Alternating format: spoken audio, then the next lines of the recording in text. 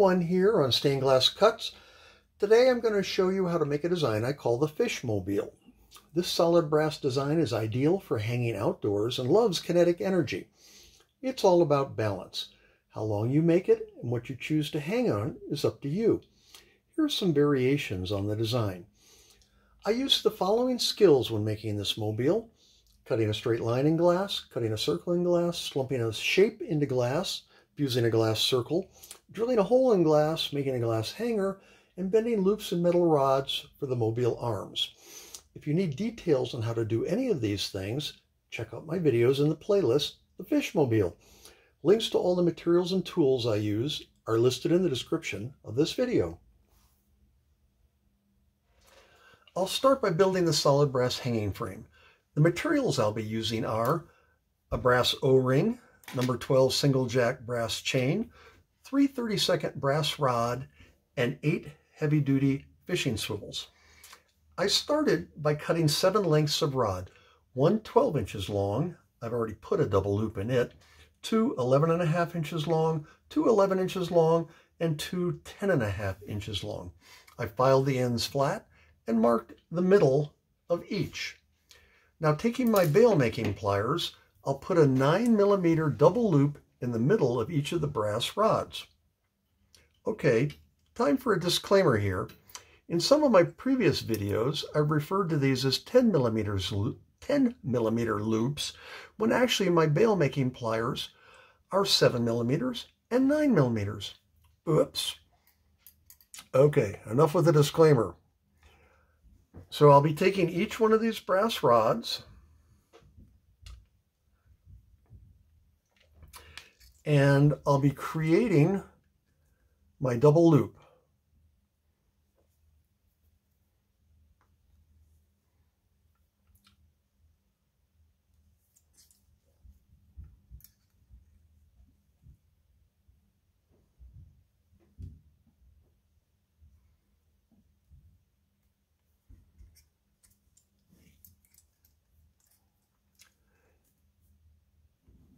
If you want to see more detail on how I make loops, I have a video on that.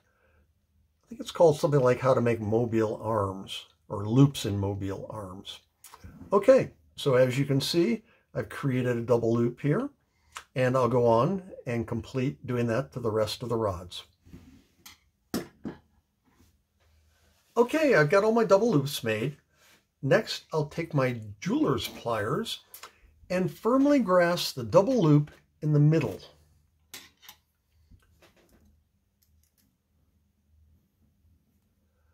I'll then bend the arms down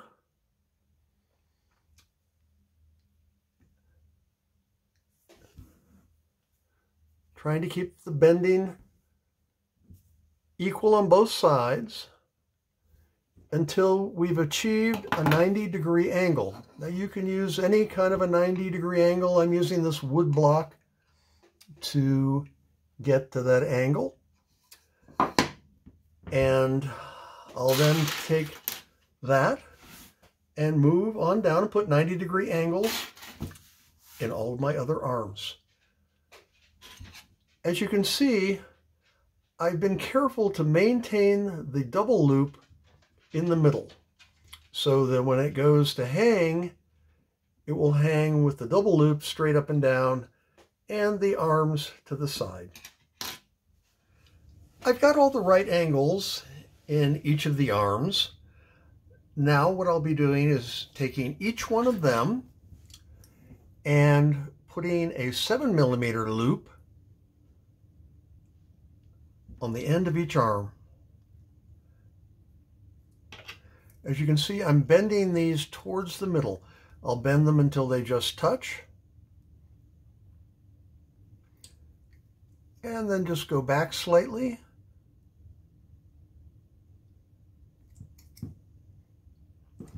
And repeat on the other side.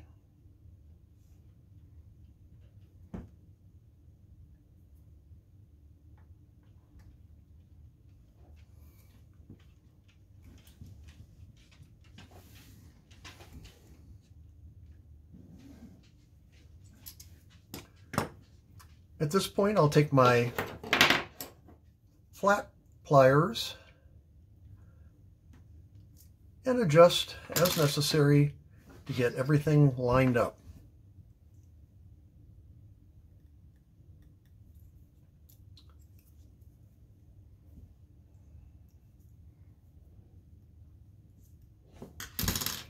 Once I've got that, I'll go on to the other arms and then we'll start seeing how things go together.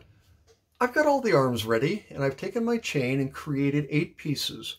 One that's eight links long, two that are five links long, two that are four links long, and three that are three links long. On the longest chain, I've attached my O-ring. I've also taken swivels and applied them, attached them, if you will, to the top loop of each of the mobile arms. I've also taken the remaining swivel and attached it to the bottom loop of one of the smallest arms. For the glass, you can use anything you want as long as you make sure the pieces that hang on the same arm are very close to the same weight. I've cut 14 circles and slumped a simple circle into the middle of each and I've used a single layer of glass. I've done the slumping to try and facilitate movement in the wind. The diameter of the circles I've made are as follows. Four of them are two inches wide, four of them are two and a half inches wide, four of them are three inches wide, and two of them are three and a half inches wide. For the tail, I've used a triangle whose sides are three and three quarter inches each. In each piece of glass, I've drilled a hole and installed a hanger.